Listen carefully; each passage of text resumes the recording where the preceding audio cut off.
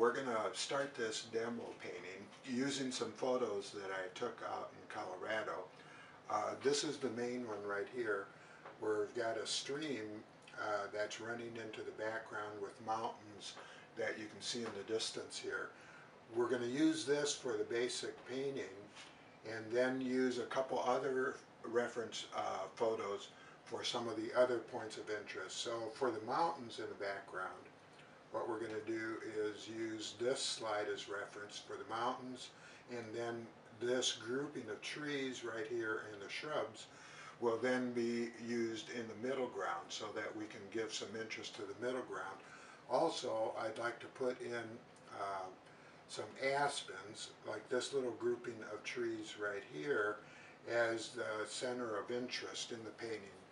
What I uh, want to do is use uh, this sketch right here as an example of what we're going to be doing. The aspens will be put right in this area here. The sunlight will be coming from this direction and shining light on that area. Visually, we'll walk into the painting through the stream right here, which will lead us right to the aspens, and then we can wander in the background uh, and show some atmospheric perspective and depth to the painting. As you can see, I've already toned my canvas to knock out all of the white and I'm going to be ready to start the painting.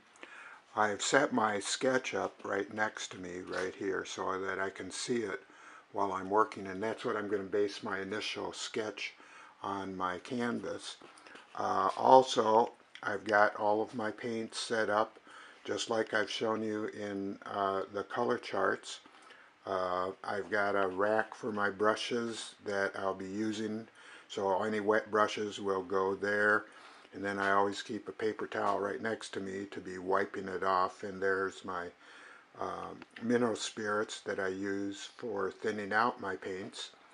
Uh, I also uh, then have all of my tools right next to me here. So I've got my brushes all set up right there with any of the tools that I uh, will think that I need. Uh, so also in the, the cabinet that I use here, this little area right here, this drawer is what I use for cleaning my brushes. So I have a little strainer at the bottom to clean. And then under the desk is my uh, trash can where I put all of my used paper towels. So with that being said, and my reference photo is up on the screen, what I do is I keep my computer monitor right next to my easel so I can see the reference material that I am using for the painting I'm working on. And most important of all, there's my coffee cup and my warmer. Without that, I'd probably not be able to paint. Okay, I think we're ready to uh, start painting. What I'm going to do is basically use my sketch that I have setting up here as my reference. Since we don't really need any uh, amount of detail, we're just going to rough in the shapes first and then break down the lights and darks. So here we go.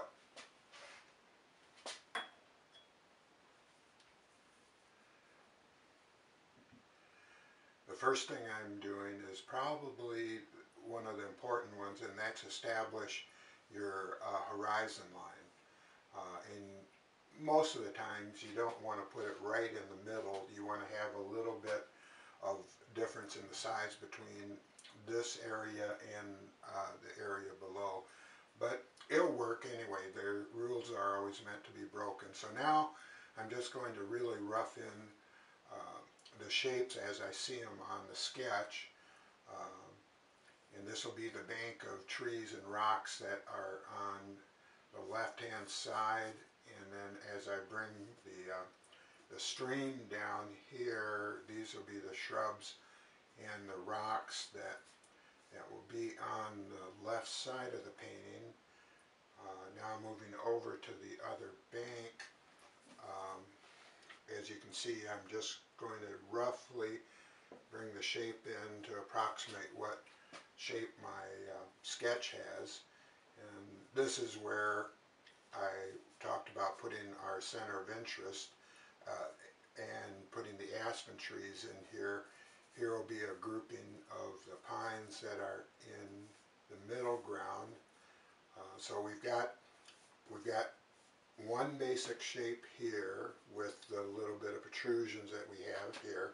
We've got another shape here, and then we've got another shape in the background, uh, and then the shape of the stream. So those are our, our basic shapes. I'll rough in just generally where we're going to put our mountains so that we have a feel for them.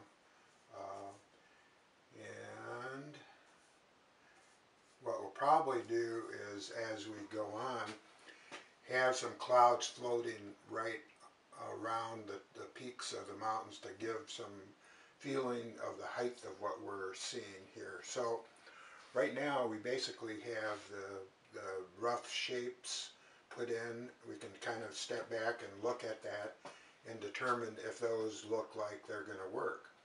So as I determined on the sketch, it felt like it was correct. So now let's break down a little bit of the value structure that we have.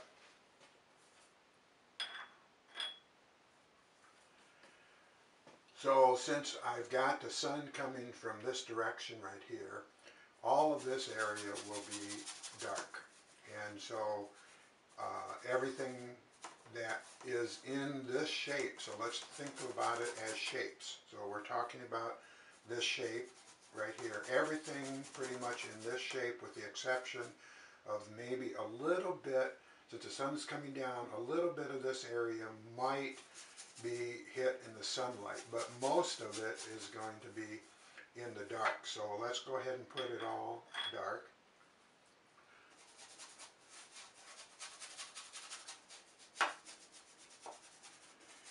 And what we want to realize is that once we put the value down here, anything that we put in there can have a variety of colors, but it can not be much different than the value that we assign to this. Now, since I'm just using one color, and what I'm using is transparent red oxide, uh, there's going to be limits to the range of value right now. So let's go ahead and break down the other somewhat dark areas, and that will be these middle ground distances of the trees.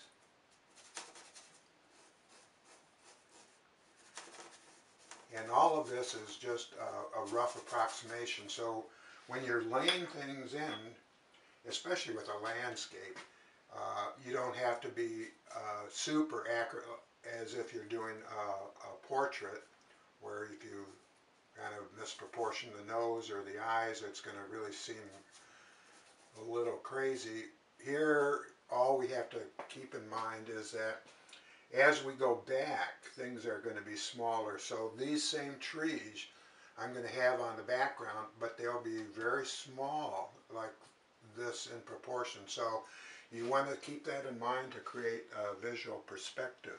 So anything that goes back, obviously, and that's a simple thought, is that it's going to be smaller, but at the same time, the values are going to be uh, a lot less as you go back. And then to create that atmospheric feeling, you're going to then modify and take out the chroma or intensity of the color as you go back. So we're going to have a little bit of a field or a rolling hill right here, right behind these mountains here, or behind these trees right here. Uh, and then as we, and the light's coming this way, so we do want to give a little bit of shape to the mountains that we put in here. So the shadow side is going to be on the right side here. And you don't have to get too detailed with it, just rough it in right now. So that now we've got a little bit of the background. One of the things that I need to do is, in one of the other uh, tools that I end up having, plus my uh, paper towel, is a rag, because a rag works out just a little bit better, and I dip it in my mineral spirits to bring out some of the highlights. So this is roughly the area where those aspens are going to go. So we're going to kind of pull that out just a little bit so that we know that there's going to be a little bit of highlight there. And then the water, as you go back, is going to pick up the sky. So that's going to be a little bit lighter in the background right here because it's reflecting the sky. Also, let's go ahead and wipe out just a little bit of the sky so we have a little bit better understanding about the value because the sky obviously is going to be one of the lightest things except for the reflection in the water. So let's keep working on that.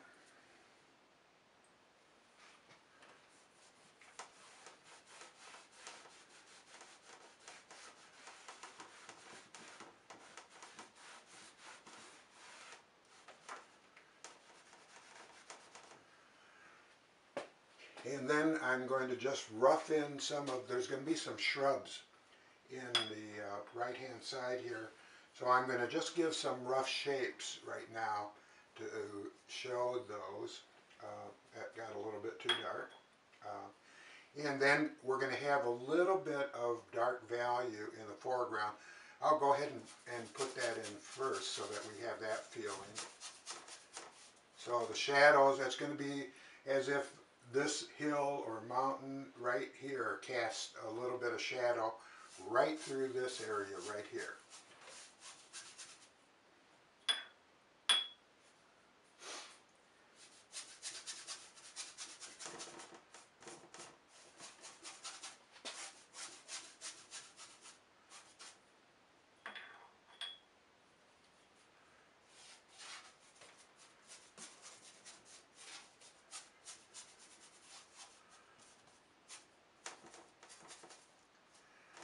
Okay, so now I've got roughed in this shape here, pretty much is all of the shadow area, a little bit of shadow area along the edges of these trees because the light's coming this way.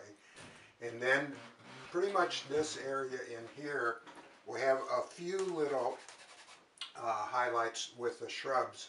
Uh, so as I put the shrubs in here, I just roughly give some shape to them by um, painting where I think the shadows are for the shapes based on the light source.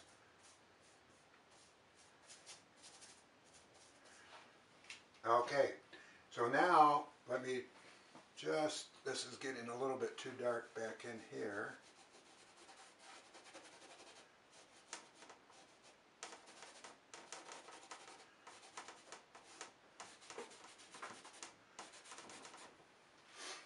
Okay, so now roughly what we have is we've got the, the foundation for the painting laid in. And once we have this, then we can start adding just a, a little bit more detail.